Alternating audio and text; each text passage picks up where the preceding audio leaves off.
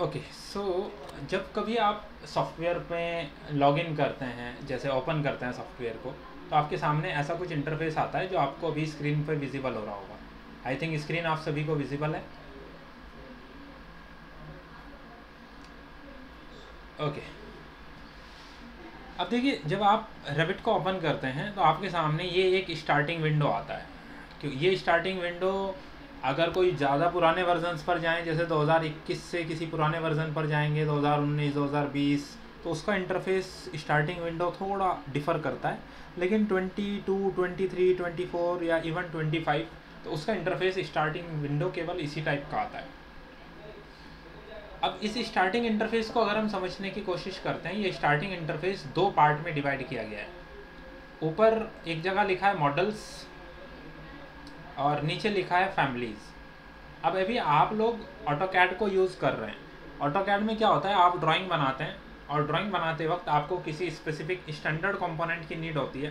तो आपने वो एज ए ब्लॉक बना कर रखते हैं, जिसको आप अपने प्रोफ़ाइल अपने कैड फ़ाइल के अंदर उसे इंपोर्ट कर लेते हैं ब्लॉक को। सेम उसी तरह यहाँ है। अगर मॉडल की बात करें तो ये हमारा मेन प्रोजेक्ट होगा। उस प्रोजेक्ट पर काम करते वक्त हमें रिक्वायरमेंट होगी किसी कंपोनेंट्स की फैमिली की। सो वो हम एज ए फैमिली यहाँ इंपोर्ट करेंगे। फैमिली मतलब थ्री डी कॉम्पोनेंट जो ब्लॉक ऑटो कैड में टू में होते हैं, यहाँ थ्री में हम फैमिली बोलते हैं। और मॉडल मतलब हमारा प्रोजेक्ट कैड में हम कैड फ़ाइल बोलते हैं उसको। कोई भी न्यू प्रोजेक्ट स्टार्ट करना है। अब हमारा जो मेन इस ट्रेनिंग का जो मेन लॉजिक है, वो ये है कि हमें रविट एम के टूल्स समझ आए, हम उन टूल्स को किस तरह यूज़ करते हैं, उसकी मॉडलिंग करने के लिए, उसको डिटेल करने के लिए, उसकी शीट्स कन्वर्ट करने के लिए, उसका बिल ऑफ़ क्वांटिटी प्रिपेयर करने के लिए, ये सारे वर्क हम लोग कर सकते हैं with the help of Revit अब हम बात करेंगे H plumbing electrical and fire fighting का। तो उन चारों केस में हम लोग जो रेविट यूज़ का एप्लीकेशन यूज़ करते हैं, वो कहलाता है Revit M mechanical electrical and plumbing लेकिन रेविट एक कॉमन सॉफ्टवेयर है, जैसे आप टोटल टॉप अपने टाइटल बार पर चेक कर सकते हैं। वहाँ लिखा है ऑटोडेस्क रेविट 2023 अब 2023 की जगह वर्जन लिखा हो सकता है कोई भी। ऑटोडेस्क पेरेंट कंपनी है, जिसने ये सॉफ्टवेयर डेवलप किया रेविट ट्वेंटी थ्री वर्जन है। होम लिखा है, ये हमारा मेन है, जब भी आप सॉफ्टवेयर को ओपन करेंगे तो वो हैम होम टैब को ओपन करता है। लेफ़्ट हैंड साइड में जहाँ रेविट का आइकन आ रहा है कॉर्नर पर, उसके जस्ट साइड में आप कर्सर लेकर जाएँगे, वहाँ एक होम का बटन होता है होम टैब शॉर्टकट भी देखो होम के साइड में ही ब्रैकेट के अंदर उसका शॉर्टकट लिखा है कंट्रोल प्लस डी रेविट में हर एक कमांड हर एक टूल के लिए शॉर्टकट होना ज़रूरी नहीं है। कुछ चीज़ों के लिए शॉर्टकट्स अवेलेबल हैं, जो कॉमन यूज़ के लिए कुछ कमांड्स होती हैं, उनके लिए हम लोग शॉर्टकट्स पढ़ते हैं। लेकिन जैसे मैंने बोला, हर एक कमांड का शॉर्टकट सेट नहीं है। हाँ रेविट हमें ये फैसिलिटी देता है कि हम शॉर्टकट अपना खुद से क्रिएट करना चाहते हैं, हम शॉर्टकट्स क्रिएट कर सकते हैं। वो आगे चल के देखेंगे शॉर्टकट कैसे क्रिएट होता है। लेकिन पॉसिबिलिटीज़ है। राइट साइड में ऊपर की तरफ़ यहाँ साइन इन का जो ऑप्शन दिया गया है। अब देखिए, ये डिपेंड करता है आपके पास कौन सा लाइसेंस है, अकाउंट की डिटेल, उसके अकॉर्डिंग आप यहाँ लॉगिन कर सकते हैं। ये डिपेंडिंग ऑन आप किस इंडस्ट्री में हैं, क्या लाइसेंसिंग अवेलेबिलिटी है, उसके अकॉर्डिंग आप ये चीज़ें चेकआउट कर सकते हैं। नहीं तो आप नीचे की तरफ़ आएँगे, जैसे मैंने बोला, दो जगह कैटेगराइज है ये हमारा विंडो। एक जगह लिखा है मॉडल्स और थोड़ा स्क्रॉल डाउन करेंगे, एक जगह लिखा है फैमिलीज़। अगर आपने कभी रेविट पे काम नहीं किया है अपने सिस्टम्स के ऊपर तो यहाँ आपको कुछ सैंपल प्रोजेक्ट्स नज़र आएँगे। आर्किटेक्चर सैंपल स्ट्रक्चर का सैंपल एम का सैंपल या कंस्ट्रक्शन का सैंपल इस तरीके से कुछ सैंपल प्रोजेक्ट्स मिलेंगे। हम बात करें कोई भी एग्जिस्टिंग सैंपल अगर आप ओपन करते हैं जस्ट क्लिक करेंगे तो वो ओपन हो जाएगा, लेकिन उससे पहले हमें कुछ चीज़ों को समझना ज़रूरी है। जैसे, कोई प्रोजेक्ट आपको ओपन करना है प्रोजेक्ट का मतलब मॉडल मॉडल जब भी बात आए तो हम प्रोजेक्ट की बात कर रहे हैं। पुराने वर्जन्स में मॉडल की जगह प्रोजेक्ट ही लिखा होता था रेबिट पर। अब न्यू वर्जन्स में उसने उसको मॉडल कर दिया है। अगर आपको कोई मॉडल ओपन करना है, आप यहाँ आएँगे open a Revit model open वाली फ़ाइल पर ओपन पर क्लिक करेंगे। लोकेशन पर जाएँगे। जहाँ भी आपका कोई मॉडल होगा, आप उस मॉडल को सिलेक्ट करेंगे और उस मॉडल को सिलेक्ट करेंगे ओपन पे क्लिक कर देंगे मॉडल ओपन हो जाएगा। इस तरीके से आपने भी ओपन किए होंगे कुछ मॉडल्स जैसे फॉर एन एग्ज़ाम्पल हम बात करें, मुझे कोई मॉडल ओपन करना है इन जनरल मैंने उस मॉडल को सिलेक्ट किया। जस्ट सेलेक्ट करके आपने ओपन पर क्लिक किया। जैसे आप ओपन पर क्लिक करेंगे, वो रविट आपके मॉडल को ओपन कर देगा। इस तरीके का कुछ इंटरफेस आएगा। वो मॉडल आपको दिखाई देगा। ये तो है किसी प्रोजेक्ट को जो ऑलरेडी एग्जिस्टिंग है, आप उसको ओपन करना चाहते हैं। तो आप ओपन कर सकते हैं। मैं अभी इसको क्लोज कर देता हूँ। सेम इसी तरह किसी फैमिली कंपोनेंट को आप ओपन करना चाहते हैं। तो आप फैमिली वाले ओपन पर क्लिक करेंगे, किसी भी फैमिली कंपोनेंट को सिलेक्ट करेंगे, आपको उसकी लोकेशन के बारे में पता होना ज़रूरी है कि उसकी लोकेशन कहाँ है। आपकी सेंस में बात करें तो मान लीजिए आपको कोई एक कंपोनेंट ओपन करना है वाटर साइड कंपोनेंट कोई पंप आप यूज़ कर रहे हैं सेंट्रीफ्यूगल पंप आप उसको ओपन करेंगे तो ये एक फैमिली कंपोनेंट है एज ए हाइड्रोलिक तो इस टाइप से आप ओपन कर सकते हैं। तो डिपेंडिंग ऑन कि आपके पास क्या अवेलेबिलिटी है, उसके अकॉर्डिंग आप उनको ओपन करके ट्राई कर सकते हैं। हमें, आप लोग जैसे ऑटो कैड पे काम कर रहे हैं, जब आप ऑटो कैड की फ़ाइल को सेव करते हैं तो उसका फॉर्मेट क्या होता है ऑटो कैड फ़ाइल का? डॉट डी डब्ल्यू जी यही फॉर्मेट होता है। सेम इसी तरह, आपको सबसे पहले बात करें तो रेविट के फ़ाइल फॉर्मेट्स के बारे में पता होना ज़रूरी है। जैसे फॉर एन एग्ज़ाम्पल हम बात कर रहे हैं प्रोजेक्ट की। प्रोजेक्ट का मतलब क्या है? मॉडल से। प्रोजेक्ट का मतलब हमारा है मॉडल आप रेविट पर कोई प्रोजेक्ट बना रहे हैं। प्रोजेक्ट में दो कैटेगरीज हो सकती हैं। पहली कैटेगरी हो सकती है प्रोजेक्ट का मॉडल जब आप किसी प्रोजेक्ट को बनाएँगे और उसे सेव करेंगे, उसका फ़ाइल फॉर्मेट होगा डॉट आर वी टी जैसे ऑटो कैड की फ़ाइल डॉट डी फॉर्मेट में सेव होती है, वैसे ही रेबिट का जो प्रोजेक्ट आप सेव करते हैं, वो डॉट आर फॉर्मेट में सेव होता है। अगर मॉडल बनाना है, जैसे आपने देखा होगा जब आप ऑटो कैड में कोई न्यू कैड फ़ाइल बनानी होती है, आप कंट्रोल एन प्रेस करते हैं न्यू फ़ाइल के लिए तो वो आपको कुछ टेम्पलेट्स के ऑप्शन देता है, आपको टेम्पलेट चूज़ करना होता है। आता है ना ए सी A D I S O या ए सी ए डी ये नाम लिखे होते हैं टेम्पलेट्स के। आप उसको चूज़ करते हो ऑटोकैड का काम स्टार्ट करने के लिए, कोई न्यू ड्राइंग बनाने के लिए। वो चीज़ क्या होती है? क्या कहलाती है? टेम्पलेट अगर आपको कोई प्रोजेक्ट क्रिएट करना है, आपको उससे पहले उसका टेम्पलेट सेलेक्ट करना होता है। तो अगर टेम्पलेट के फ़ाइल की बात करें फॉर्मेट क्या होता है? वो होता है डॉट आर टी ई वहीं पर दूसरी कैटेगरी पर आते हैं। दूसरी कैटेगरी हमारे पास है फैमिली। इन जनरल इसको क्या बोल सकते हैं हम? कंपोनेंट जैसे किसी बिल्डिंग के अंदर कोई डोर होता है, कोई विंडो होता है। एच के टर्म्स में बात करें तो एचवीएसी में वी होता है ए एच यू होता है। डक्ट की बात करें तो डक्ट फिटिंग्स में एल्बो होती है, टी होती है। डक्ट का एंड कैप होता है। प्लम्बिंग के सेंस में बात करें तो आपको टी लगाना है एल्बो लगाना है कहीं पर, कोई आपको प्लम्बिंग फिक्सचर प्लेस करना है, जैसे डब्ल्यू सी वो सब क्या कहलाते हैं? फैमिली कंपोनेंट अब फैमिली कंपोनेंट्स हमारे पास कुछ बने हुए होंगे। उसी तरीके से हम बात करते हैं, जैसे हम बात करें अगर कंपोनेंट के बारे में, जो कंपोनेंट का फ़ाइल होता है, बना हुआ। उसका फॉर्मेट होता है dot R F A Revit family और अगर आपको उस फैमिली को क्रिएट करना है तो अगेन आपको फैमिली का भी टेम्पलेट चाहिए. फैमिली का जो टेम्पलेट होता है, उस टेम्पलेट का जो फॉर्मेट होता है, उसे हम कहते हैं dot R F T dot R F T project start करना है टेम्पलेट चूज़ करना है dot R T E file format होगा प्रोजेक्ट के टेम्पलेट का। कोई फैमिली क्रिएट करना है, उसके लिए टेम्पलेट चूज़ करना है तो उसका फ़ाइल फॉर्मेट क्या होगा? डॉट आर एफ़ टी आप फैमिली को सेव करेंगे तो उसका फॉर्मेट होगा डॉट आर एफ़ ए आप प्रोजेक्ट को सेव करेंगे तो उसका फॉर्मेट होगा डॉट आर टी ये चार फ़ाइल फॉर्मेट्स आपको हमेशा पता होना ज़रूरी है, यही डिफाइन करते हैं आपके पास किस टाइप की फ़ाइल है। कुछ पूछना है किसी को इसके बारे में फ़ाइल फॉर्मेट से रिलेटेड तो आप पूछ सकते हैं।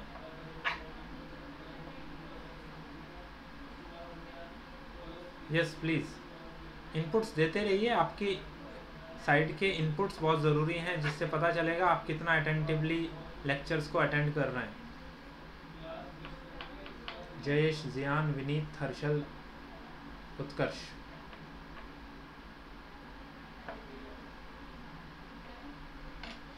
ओके सो वापस आते हैं क्रॉस चेक करने के लिए। आप जब किसी मॉडल को ओपन कर रहे होते हैं, जैसे ही मैंने ओपन पर क्लिक किया, आप किसी फ़ाइल को सिलेक्ट करते हैं तो नीचे देखो फ़ाइल के नाम के एंड में क्या लिखा है डॉट आर वी टी मैंने हाईलाइट किया, देखो, क्योंकि ये प्रोजेक्ट का मॉडल है।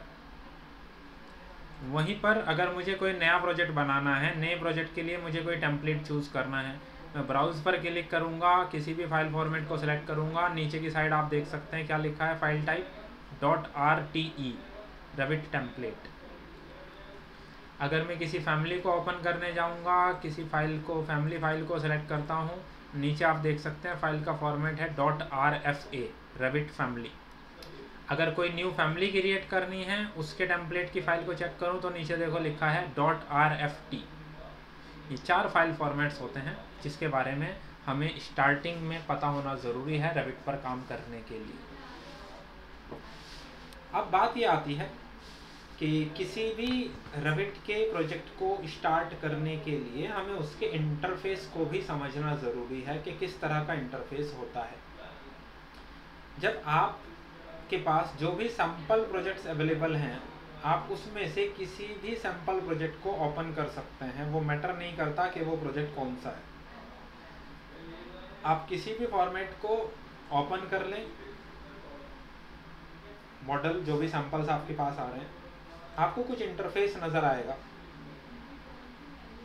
अब वो इंटरफेस कैसा होगा? जैसे स्टार्टिंग में जब आप फ़र्स्ट टाइम ओपन करेंगे, मैं उस इंटरफेस को आपको दिखा देता हूँ। कुछ इस तरह का इंटरफेस होगा। जब आप पहली बार ओपन करेंगे। टॉप पर आप देखेंगे टाइटल बार जहाँ लिखा है ऑटोडेस्क रेविट 2023 उसके आगे लिखा है मूलचंद फ्लाईओवर दैट मीन्स उस फ़ाइल का नाम लिखा होगा।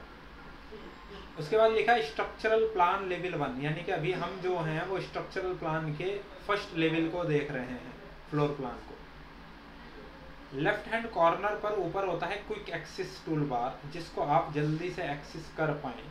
ये जो क्विक एक्सिस टूल बार होता है, ये कस्टमाइजेबल होता है। जैसे मुझे यहाँ पर कुछ ऑप्शंस दिए गए हैं स्ट्रक्चरल फाउंडेशन मुझे इसका बहुत फ्रीक्वेंटली यूज़ नहीं करना। तो मैं राइट क्लिक करके उसको वहाँ से रिमूव कर सकता हूँ। यानी कि जिस टूल का यूज़ नहीं करना, आप उसको वहाँ से रिमूव कर सकते हो राइट क्लिक करके।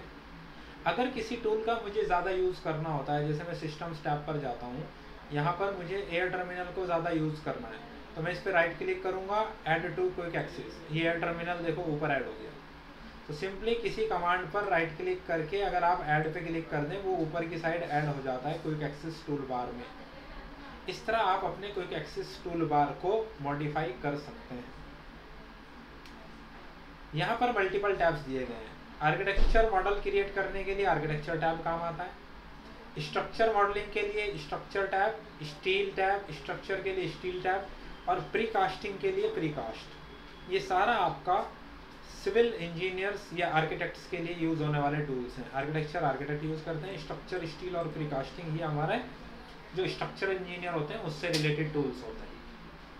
अब हम लर, हमें लर्न करना है रेविट एम ई के सारे टूल्स आपको मिलेंगे सिस्टम्स टैब के अंदर। जब आप सिस्टम्स के टैब में जाएँगे यहाँ हमारे सारे टूल्स होते हैं। H V A C mechanical plumbing and piping और इलेक्ट्रिकल सारे टूल्स हमें यहाँ नज़र आएँगे। हमें ये टैब सबसे ज़्यादा यूज़ करना होगा। उसके अलावा ये सारे हमारे मेन टैब्स कहलाते हैं। किसी भी टैब में आप जाते हैं तो उससे रिलेटेड नीचे हमारे टूल बार्स ओपन हो जाते हैं। इसको हम कहते हैं रिबन टूल बार ये रिबन टूल बार कभी श्रिंक भी हो सकता है, छोटा भी किया जा सकता है। जैसे आप देखो, ये जो हमारे मेन्यू बार के टैब्स हैं, उनके लास्ट में आए मॉडिफाई के साइड में, यहाँ एक एरो दिया गया है। अगर मैं यहाँ क्लिक करता हूँ, यहाँ बहुत सारे ऑप्शन है। Minimise to tabs tabs minimise हो गए। वापस से क्लिक करूँ मिनिमाइज टू पैनल अब केवल मुझे पैनल दिख रहे हैं H V S C fire fighting नाम लिखा हुआ। दोबारा से क्लिक करूँ तो मिनिमाइज टू पैनल बटन्स अब पैनल के बटन्स आ गए केवल। वापस से क्लिक करूँ साइकिल थ्रू ऑल इसका मतलब क्या है? ये जो साइड में एरो है ना, जो ब्रैकेट में बना हुआ है, उस पर मैं क्लिक करूँगा। एक, दो, तीन वापस आ गया टूल पूरी साइकिल चलेगी वन वन स्टेप्स में। चेंज करने की हमें ज़रूरत नहीं है, क्योंकि हमें तो ये एक्सपेंडेड ही चाहिए। बेटर है, हम यहाँ से इसको टूल्स को यूज़ कर पाएँगे। इस रिबन टूल बार के नीचे यहाँ एक बार है, जो ब्लैंक है अभी करंटली ये वाला बार मेरा कर्सर आप ध्यान से देखेंगे तो आपको नज़र आ जाएगा, ये बार ये बार बेसिकली कमांड की डिटेलिंग के लिए होता है। जैसे अगर मैं यहाँ से एयर टर्मिनल को सिलेक्ट करता हूँ सिलेक्ट करते ही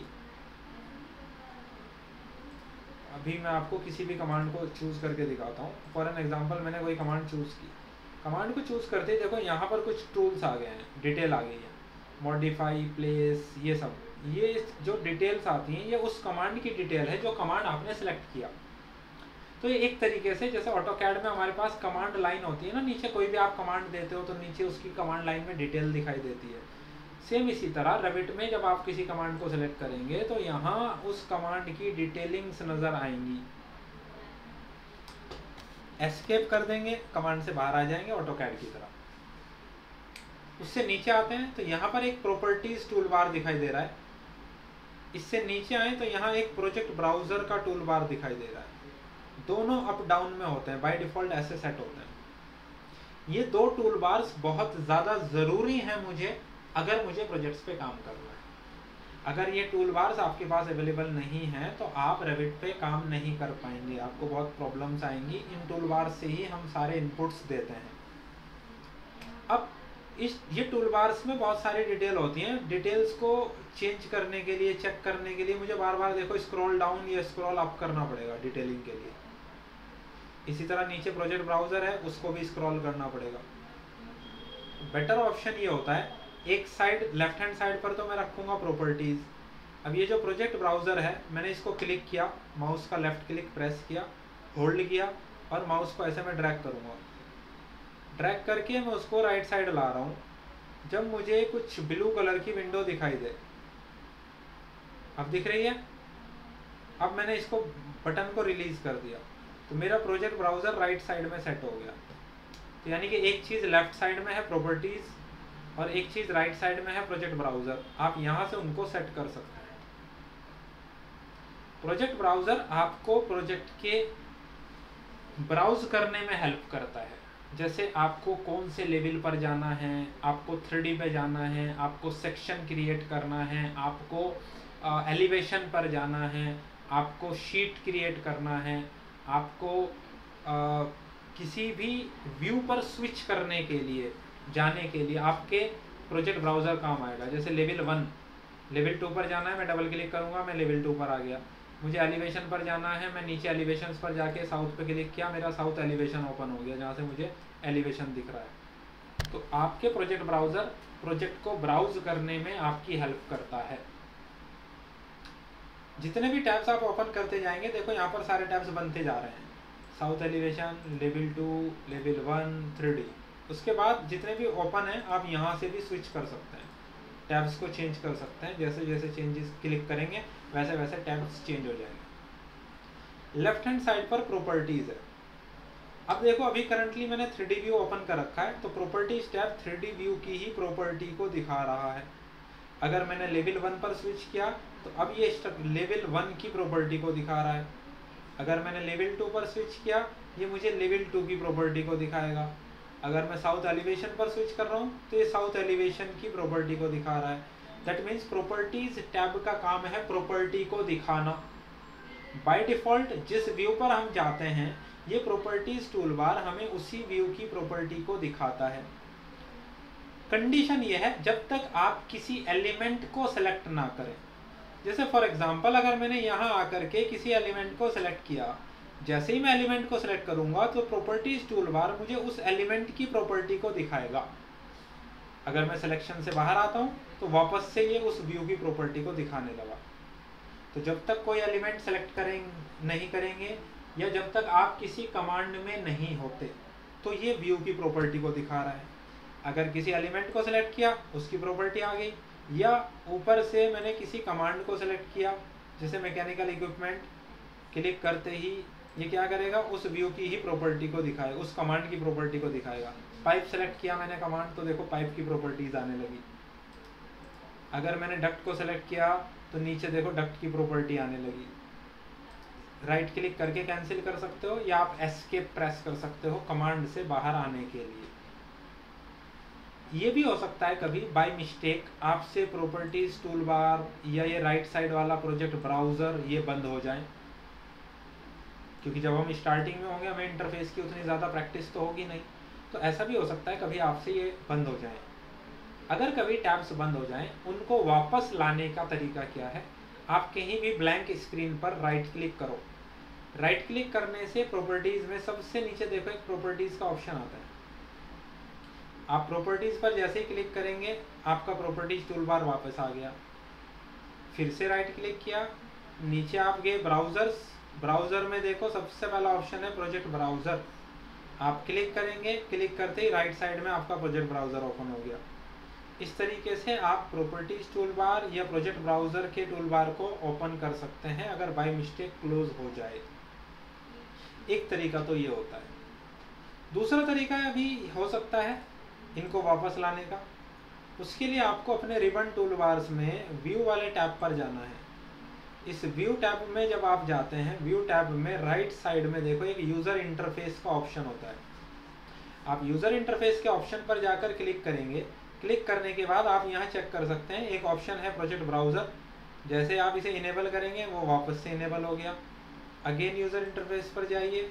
वहाँ पर नीचे की तरफ़ आइए। ये ऑप्शन है प्रॉपर्टीज़ का। आप प्रॉपर्टीज़ पर क्लिक करेंगे तो वापस से प्रॉपर्टीज़ टूल बार ओपन हो जाएगा। इस तरीके से आप अपने टूल बार्स को जो क्लोज हो जाएँगे, गलती से, आप उनको वापस ओपन कर सकते हैं री इनेबल कर सकते हैं। उसके अलावा, नीचे की तरफ़ आएँगे। जैसे मैं लेवल वन पर आ रहा हूँ, वापस, थोड़ा आगे की तरफ़ देखना चाहता हूँ। नीचे यहाँ आपके पास कुछ ऑप्शन होते हैं। डिटेल को आपको फाइन देखना है मीडियम देखना है या कोर्स देखना है। इन डिटेलिंग्स के लिए मैं आपको दूसरा एग्जांपल देता हूँ।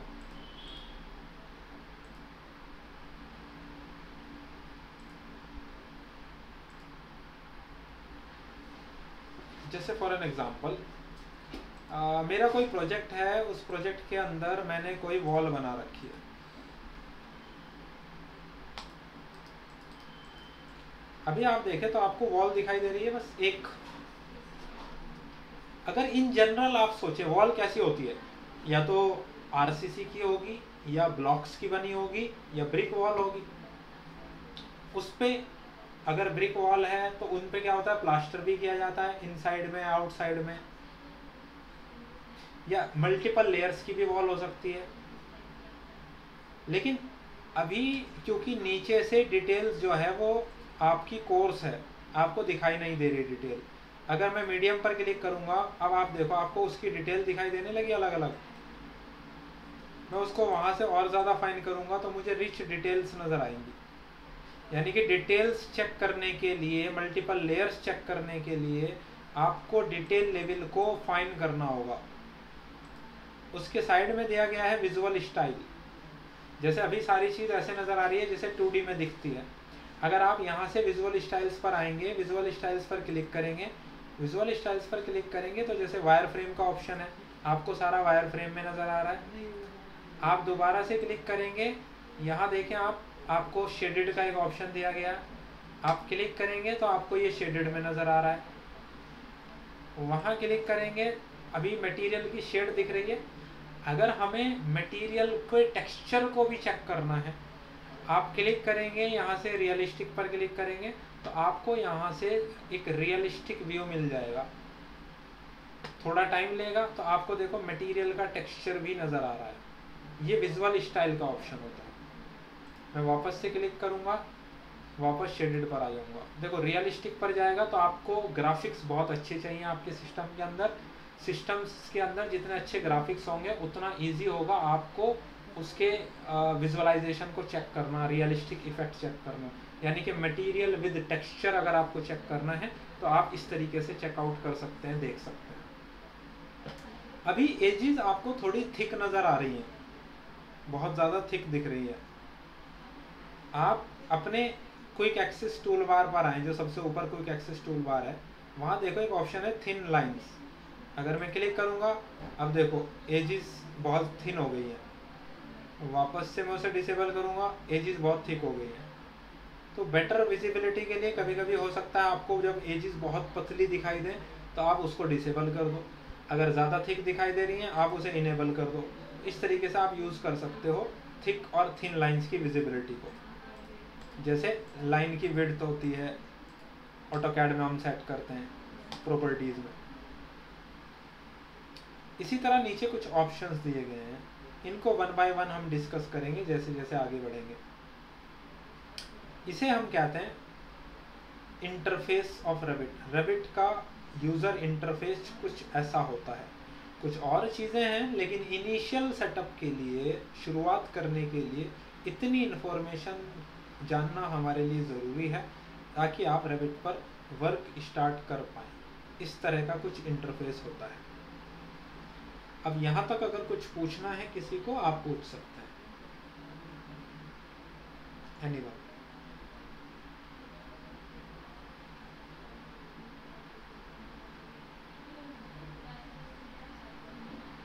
okay. केवल ज्ञान को क्लियर है? किसी और को नहीं?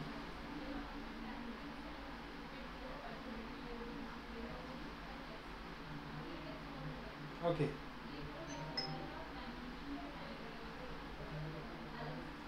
अब हम थोड़ा आगे बढ़ने की कोशिश करते हैं।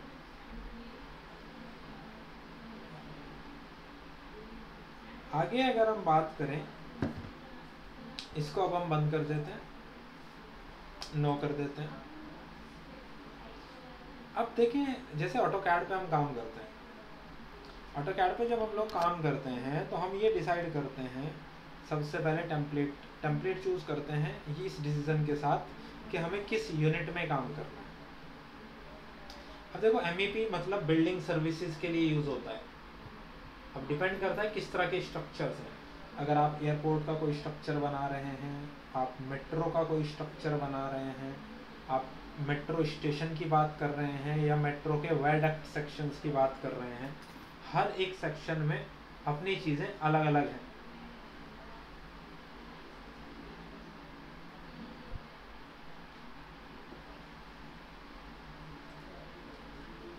We all do not have your microphone. Okay Vineet but better आप लोगों के लिए ये है अवेलेबिलिटी कि आप लोग कल लेक्चर तक ईयरफोन तो एटलीस्ट अरेंज कर सकते हैं। उसमें तो कुछ ऐसा, कोई उतना ज़्यादा कॉस्टली नहीं है। आप लोगों के पर्सनल बेनिफिट के लिए भी अच्छा है, आगे के अपग्रेडेशंस के लिए। ओके okay, सो so, जब हम लोग ऑटो कैड पे काम स्टार्ट करते हैं कोई भी न्यू ड्राइंग बनाना चाहते हैं तो आप क्या यूज़ करते हैं? न्यू फ़ाइल के लिए? कंट्रोल प्लस एन ये यूज़ करते हैं न्यू फ़ाइल के लिए? जैसे ही आप कंट्रोल प्लस एन प्रेस करेंगे तो आप क्या कर सकते हैं? कोई भी एक न्यू प्रोजेक्ट को स्टार्ट कर सकते हैं। न्यू प्रोजेक्ट को स्टार्ट करने के लिए आपके पास जो परफॉर्मा है वो ये है। आप डिसाइड करते हैं कि हमें किस यूनिट में काम करना है। अब यूनिट को हम इन जनरल दो कैटेगरीज में बांटते हैं। One is imperial and second one is metric अगर आप बात करेंगे इम्पीरियल और मैट्रिक के बीच का डिफरेंस का तो इम्पीरियल यूनिट होती हैं, जैसे हम बात कर रहे हैं फीट इंच यार्ड, माइल्स, ये सब हमारी इम्पीरियल कैटेगरी की यूनिट होती है। अगर आप बात कर रहे हैं मैट्रिक में, जैसे मिलीमीटर सेंटीमीटर मीटर किलोमीटर ये सब हमारी मैट्रिक यूनिट होती है। करंट सिनारियो में आप देखें, अगर हमें मैट्रिक अगर हमें एमईपी वर्क e करना है एमईपी वर्क e सारा हम लोग मैट्रिक यूनिट को यूज़ करते हैं मिलीमीटर और जहाँ तक पॉसिबल है आप लोग भी ऑब्वियसली अभी जितना काम कर रहे होंगे, वो सब एम में कर रहे होंगे। जैसे आप कैड पे वर्क कर रहे हैं तो ऑब्वियसली कैड में भी हम यूनिट बेस्ड वर्क कर रहे हैं। अब बात ये आती है, जैसे ऑटो कैड फ़ाइल में आप टेम्पलेट चूज़ करते हो वर्क स्टार्ट करने के लिए सेम उसी तरह रेविट पर भी वर्क स्टार्ट करने के लिए आपको अपना टेम्पलेट चूज़ करना होगा। यहाँ पर हमें ये जानना ज़रूरी है कि हमारा टेम्पलेट कौन सा है और कौन से फोल्डर में? इम्पीरियल के लिए जो हमारा टेम्पलेट होता है, उसका नाम होता है सिस्टम्स डिफ़ॉल्ट इम्पीरियल के लिए। एंड में क्या लिखा होना चाहिए? R T E Revit template अगर मैट्रिक की बात करेंगे तो यहाँ पर हमारा टेम्पलेट का नाम होगा सिस्टम्स डिफ़ॉल्ट मैट्रिक। एंड में अगेन यही लगा हुआ डॉट आर टी ई, क्योंकि रविट का टेम्पलेट होगा। तो इस पर डिपेंड करेगा, हमें इंपीरियल में यूनिट में काम करना है तो हम ये वाला टेम्पलेट चूज़ करेंगे। अगर हमें मैट्रिक में काम करना होगा तो हम ये वाला टेम्पलेट चूज़ करेंगे। लेकिन कौन सा टेम्पलेट ये जो इंपीरियल का टेम्पलेट है, ये किस फोल्डर के अंदर होता है? उसका नाम होता है इंग्लिश इंपीरियल वहीं जो मैट्रिक टेम्पलेट होता है, वो किस फोल्डर के अंदर होता है? उसका नाम होता है फोल्डर का नाम इंग्लिश तो ये जो हम बात कर रहे हैं,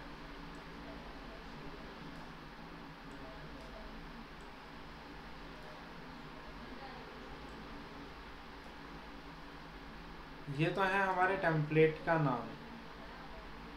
टेम्पलेट नेम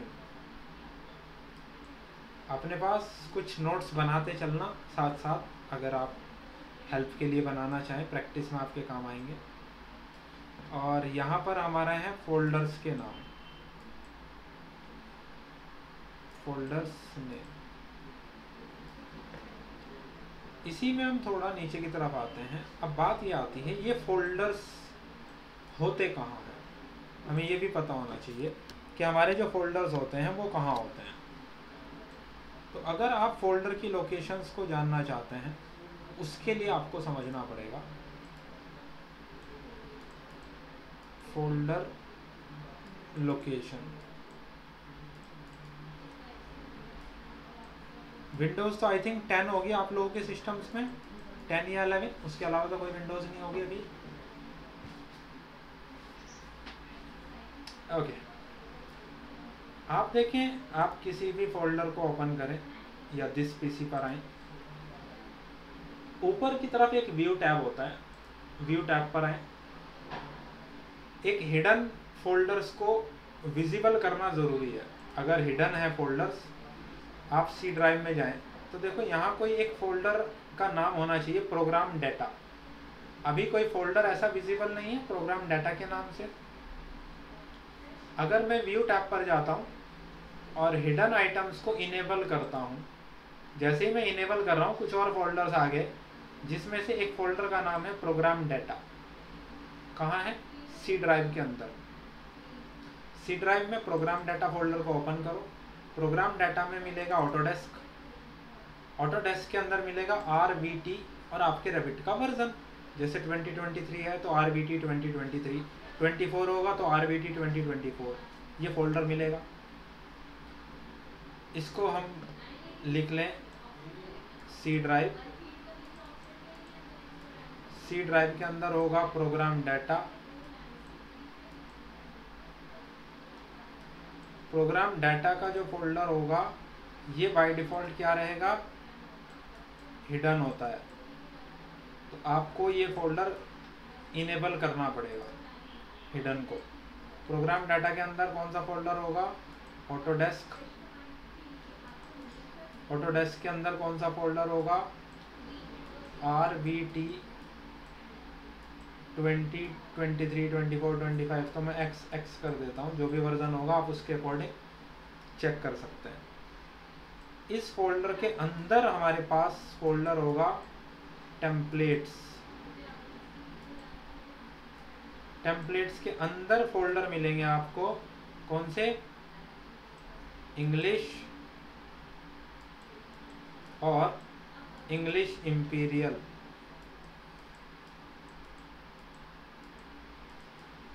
इन्हीं दो फोल्डर्स की तो बात की ना हमने यहाँ इंग्लिश इंपीरियल और इंग्लिश अब आप चेक करो।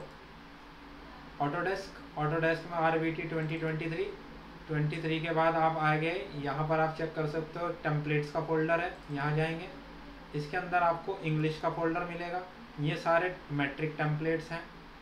अगर वापस जाएँ इंग्लिश इम्पीरियल वाले फोल्डर पर आए, यहाँ पर ये सारे हमारे इम्पीरियल के टेम्पलेट हैं। मैंने जो टेम्पलेट्स आपको बोले, आप देखो यहाँ सिस्टम्स डिफ़ॉल्ट ये टेम्पलेट हम यूज़ करेंगे अगर हमें एम वर्क करना है with imperial unit Revit M का काम करना है आपको कौन सी यूनिट यूज़ करके?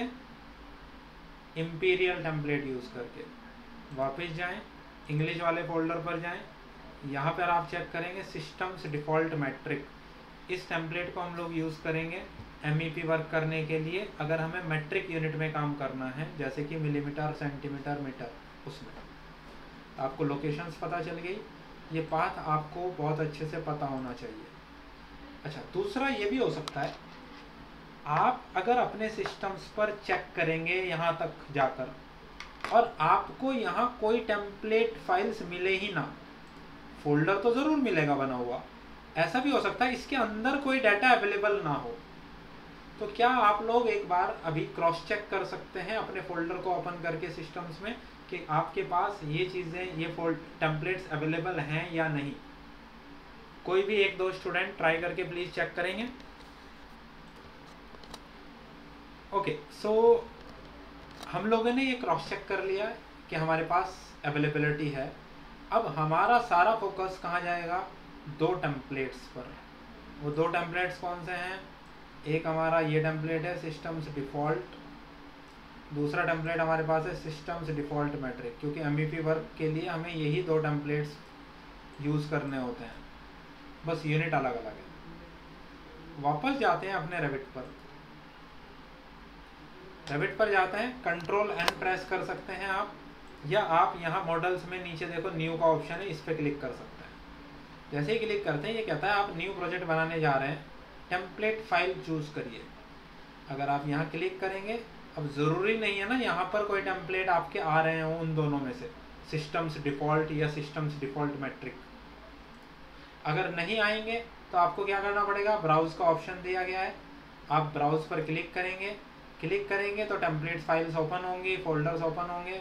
आप उन फोल्डर्स में से जा सकते हो, अपना टेम्पलेट चूज़ कर सकते हो ओपन पे क्लिक करोगे तो आपका टेम्पलेट यहाँ आ जाएगा systems default dot R T E अगर हमें इम्पीरियल यूनिट में काम करना है, हम इम्पीरियल वाले फोल्डर पर जाएँगे, वहाँ से चूज़ करेंगे सिस्टम्स डिफ़ॉल्ट ओपन करेंगे, हमारा आ जाएगा सिस्टम्स डिफ़ॉल्ट अब, क्योंकि हमें हमेशा वर्क अपने एम e का ही करना है तो बेटर है अगर हमारे टेम्पलेट ड्रॉप डाउन में ही विजिबल हो जाए, क्योंकि अभी तो हमने ऐड कर दिए हैं तो आने लगे।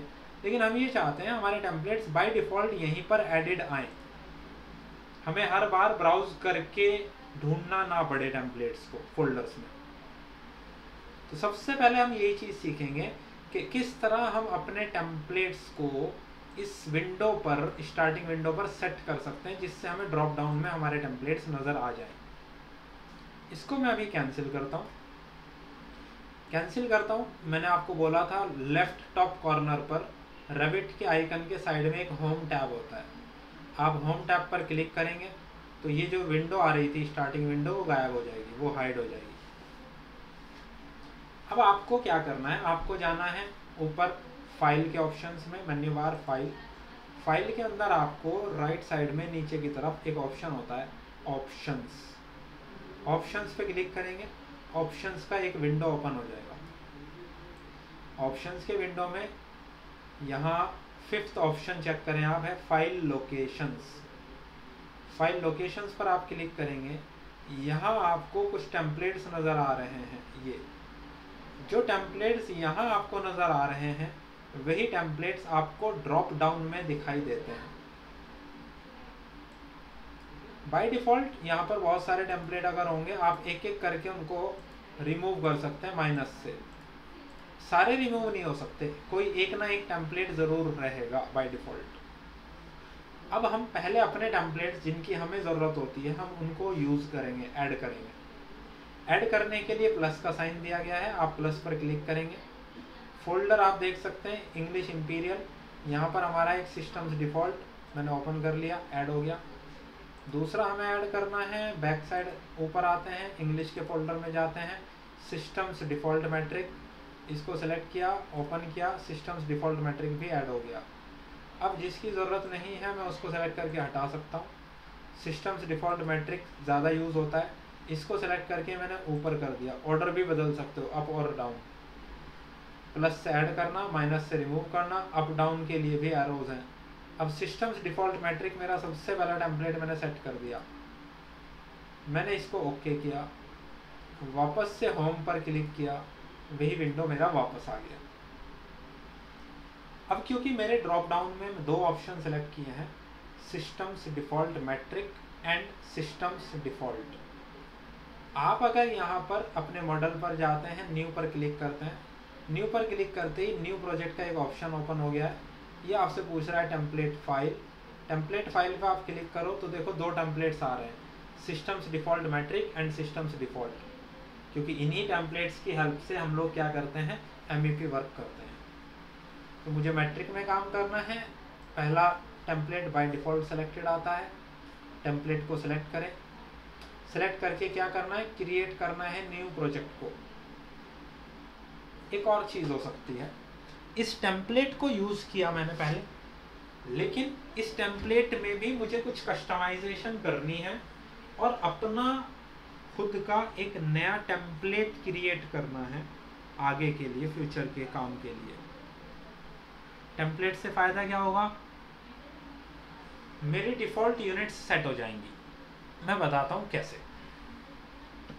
जैसे फॉर एग्जांपल अभी जो डिफ़ॉल्ट टेम्पलेट है, मैंने उसे सिलेक्ट रखा और मैंने बोला क्रिएट न्यू प्रोजेक्ट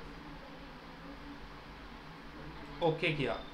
अब तो जो भी यूनिट्स सेटअप जो भी स्टैंडर्ड्स उस टेम्पलेट के अंदर मैंने सेट किया होगा, जो सेट किया हुआ है बाय डिफ़ॉल्ट वही सारा स्टैंडर्ड इसमें ओपन हो जाएगा। जैसे आप देखो, जब आपने ओपन किया राइट साइड में आपका प्रोजेक्ट ब्राउज़र है, उसके अंदर आपको कुछ डिसिप्लिन नज़र आ रहे हैं। इलेक्ट्रिकल इसे मैं मिनिमाइज़ करता हूँ। मैकेनिकल मैकेनिकल में क्या आ रहा है? एचवीएसी इसे मिनिमाइज़ करते हैं। नीचे आ रहा है प्लम्बिंग प्लम्बिंग के अंदर केवल प्लम्बिंग आ रहा है। इसे मैं मिनिमाइज़ करूँ। यहाँ कहीं फायर फाइटिंग तो आपको नज़र नहीं आ रहा डिसिप्लिन बट मुझे फायर फाइटिंग का भी वर्क करना है। उसके लिए मुझे इसके अंदर एक नया डिसिप्लिन ऐड करना पड़ेगा। तो बेटर है, मैं पहले एक ये सारा काम कर लूँ, उसका एक टेम्पलेट बना लूँ, जिससे मुझे चारों डिसिप्लिन जब भी मैं उस टेम्पलेट को चूज़ करके ओपन करूँ तो मेरे चारों डिसिप्लिन मुझे बाय डिफ़ॉल्ट यहाँ नज़र आए। हम ऐसा टेम्पलेट भी बना सकते हैं। अब क्योंकि आज पहला ही लेक्चर है तो उस लेवल पर तो हम नहीं जा सकते कि टेम्पलेट कैसे क्रिएट करते हैं, हम पहले ही दिन समझ लें डिसिप्लिन ऐड करना। लेकिन टेम्पलेट के बारे में हम कुछ जनरल एग्जांपल देख सकते हैं। जैसे, आप लोग ऑटो कैड यूज़ करते हो ऑटो कैड यूज़ करने में जब आप न्यू फ़ाइल ओपन करते हो, आपको ड्राइंग की यूनिट्स सेट करनी होती हैं तो आप क्या शॉर्टकट यूज़ करते हो ड्राइंग यूनिट्स के लिए? यू एन ड्राइंग यूनिट्स में यू एन एंटर करते हो। सेम उसी तरह आप रेबिट के अंदर अगर प्रोजेक्ट की यूनिट सेट करना चाहते हैं तो आप यू एन यूज़ कर सकते हैं। जैसे मैंने प्रेस किया यू एन एंटर की ज़रूरत नहीं होती। यू एन प्रेस करते ही मुझे कुछ यूनिट्स दिख रही हैं। जैसे आप चेक कर सकते हैं, यहाँ पर लेंथ मिलीमीटर में है एरिया मीटर स्क्वायर में है वॉल्यूम मीटर क्यूब में है। रेबिट में दूसरा बेनिफिट ये है। जैसे ऑटो कैड में क्या है, अगर यूनिट हम, आपने मिलीमीटर चूज़ किया तो वो एरिया मिलीमीटर स्क्वायर में बताता है और वॉल्यूम मिलीमीटर क्यूब में बताता है। यहाँ ऐसा नहीं है। रेबिट में अगर आप लेंथ मेज़र करना चाहते हैं मिलीमीटर में एरिया मेज़र करना चाहते हैं स्क्वायर फीट में तो इंडिपेंडेंसी है। जैसे लेंथ की यूनिट मिलीमीटर है, मैं एरिया पर जा रहा हूँ क्लिक कर रहा हूँ, मैंने बोला एरिया मुझे मेज़र करना है स्क्वायर फीट में। तो आप ऐसा भी कर सकते हैं, कोई टेंशन नहीं है। अलग अलग यूनिट्स भी चूज़ की जा सकती हैं। उसमें कोई भी किसी तरह का प्रॉब्लम नहीं आएगा आपको रेबिट के अंदर। इंडिपेंडेंसी है, ऐसा नहीं है, एक यूनिट सेलेक्ट हो गई तो सारे इनपुट सारे आउटपुट वो उसी यूनिट में बताएगा। इंडिविजुअल यूनिट्स का सिलेक्शन आराम से आप कर सकते हैं। लेकिन क्योंकि मेरे डिसिप्लिन हैं मैकेनिकल इलेक्ट्रिकल प्लम्बिंग आप यहाँ टॉप पर देखें डिसिप्लिन का एक ऑप्शन है, जहाँ पर है कॉमन अगर मैं यहाँ डिसिप्लिन पर क्लिक करूँ तो हमें सारे डिसिप्लिन यहाँ नज़र आ रहे हैं। जैसे मैं जाता हूँ एच पर। एच में जाता हूँ तो सबसे पहला जो टूल आ रहा है parameter air flow air flow मुझे अभी दिखा रहा है, कुछ मेरी वैल्यू आगे लिखा है लीटर पर सेकंड अब आप लोग अगर काम कर रहे होंगे तो आपने देखा होगा, हम लोग हीट लोड कैलकुलेशंस करते हैं या जो वैल्यू कंसिडर करते हैं, उसमें हम लोग यूनिट यूज़ कर रहे हैं क्यूबिक फीट पर मिनट जिसे हम CFM बोलते हैं। मान लीजिए हमारी मेजरमेंट्स कैलकुलेशंस जो यूज़ करना है, हमें CFM यूनिट यूज़ करना है। तो आप एयर फ्लो पे क्लिक करें यहाँ, और यहाँ से आपको CFM करना पड़ेगा क्यूबिक फीट पर मिनट अब ऐसा जब भी मैं किसी न्यू प्रोजेक्ट पे काम करूँगा, मैं टेम्पलेट सेलेक्ट करूँगा तो मुझे हर बार, हर प्रोजेक्ट से पहले ये यूनिट्स सेटअप करनी पड़ेगी अपनी रिक्वायरमेंट के अकॉर्डिंग इस काम से बचने के लिए तरीका यह है, क्यों ना मैं अपना खुद का एक टेम्पलेट बना लूँ, जिसके अंदर ये सारे फॉर्मेट्स सारे स्टैंडर्ड्स मैं पहले से सेट कर दूँ। आगे जब भी मुझे काम करना है, मैं उसी सेम टेम्पलेट को यूज़ करूँ और अपने यूनिट्स को सेटअप कर लूँ। मैं इस विंडो को यहाँ से क्लोज कर देता हूँ। जब मैंने क्रिएट न्यू पर क्लिक किया, नया प्रोजेक्ट क्रिएट किया, मैं प्रोजेक्ट के बजाय यहाँ पर सेलेक्ट करता हूँ क्रिएट न्यू प्रोजेक्ट टेम्पलेट देखो टेम्पलेट वही है सिस्टम्स डिफ़ॉल्ट मैट्रिक इसी टेम्पलेट को यूज़ करूँगा, लेकिन मैं अपने प्रोजेक्ट का एक नया टेम्पलेट क्रिएट करूँगा। ओके करूँगा, मेरा इंटरफेस वापस से ओपन हो गया। अब मुझे यूनिट्स को सेटअप करना है सबसे पहले। तो यू एन मैंने प्रेस किया। प्रोजेक्ट यूनिट्स ओपन हो गई। अगर मैं वहाँ क्लिक करता हूँ, जैसे मुझे एच की सेटिंग करनी है, मैं यहाँ गया। मैंने बोला, यार, मुझे लीटर पर सेकंड यूज़ नहीं करना सीएफएम यूज़ करना है। एयर फ्लो की डेंसिटी भी मुझे सीएफएम के अकॉर्डिंग चाहिए। पर स्क्वायर फीट या पर स्क्वायर मीटर मैंने बोला, इस पर स्क्वायर मीटर में चाहिए। क्लिक करो। यहाँ पर आ गया। मैंने बोला cubic feet per minute square feet मुझे चाहिए। मैंने ये यूनिट सेलेक्ट कर लिया C F M per feet square इस तरीके से हम अपनी रिक्वायर्ड यूनिट को सेटअप कर सकते हैं। कॉमन में जाएँ स्लोप डिग्री में आ रहा है, सही है।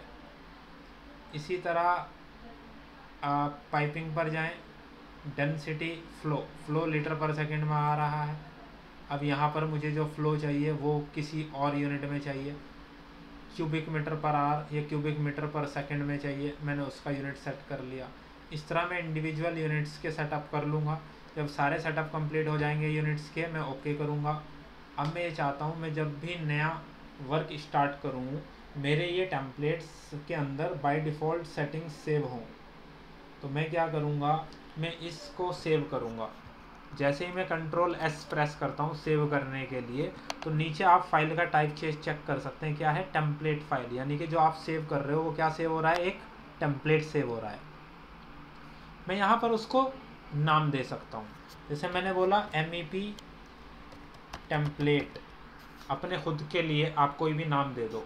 आपको पता होना चाहिए वो टेम्पलेट कौन सा है। नाम दे करके मैंने सेव किया। कौन से फोल्डर में सेव हो रहा है? इंग्लिश के फोल्डर में सेव हो रहा है। मैंने सेव पर क्लिक किया, अब ये टेम्पलेट मेरा सेव हो जाएगा बाय डिफ़ॉल्ट जब टेम्पलेट सेव हो जाए, अब आपको इस टेम्पलेट पे काम नहीं करना, इसको बंद कर देना है डायरेक्ट अब जब भी मैं नए प्रोजेक्ट पर काम करूँगा तो मुझे वो टेम्पलेट चाहिए एम ई टेम्पलेट यूज़ करना है.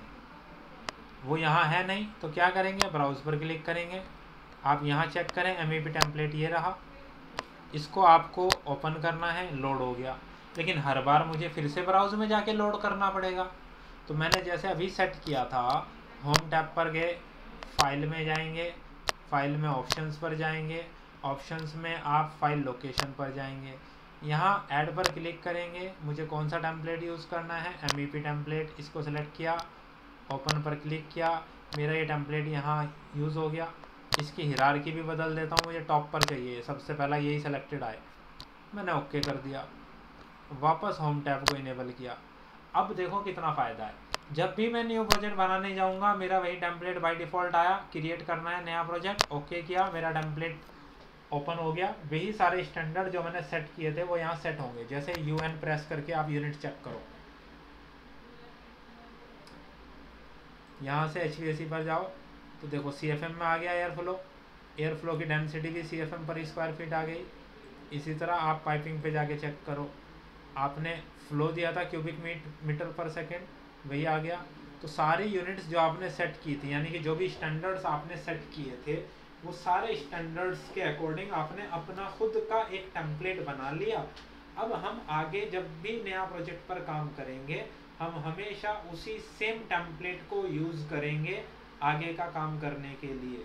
इससे हमें ये बेनिफिट मिलता है। टेम्पलेट सेट करना। यहाँ तक किसी को कोई डाउट अगर है आप बताएँ मुझे प्लीज़